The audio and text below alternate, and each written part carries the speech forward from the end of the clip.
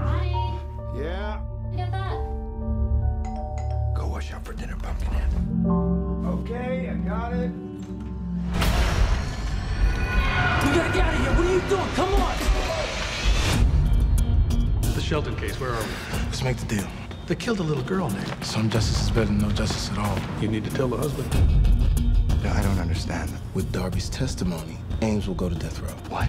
The jury's gonna believe me. The deal is done. I'm sorry.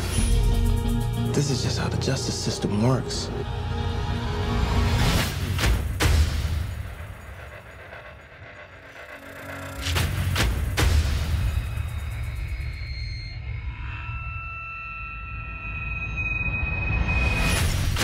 What was supposed to be a painless execution has turned into something out of a horror film. The machine was corrupted. Who could have done this? I killed your friend Ames in prison, but I wanted to keep you all for myself. Your heart is beating so fast. Me too. Did you murder Clarence Darby?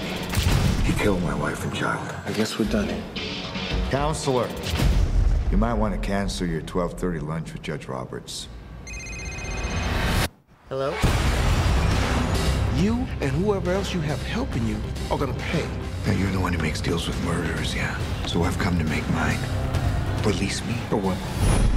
or I kill everyone. We have him locked up and he's still killing people?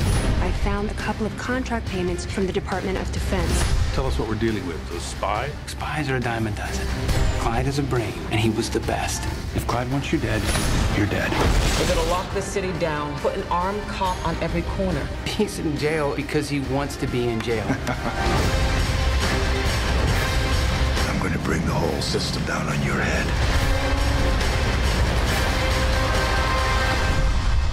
It's got to be biblical.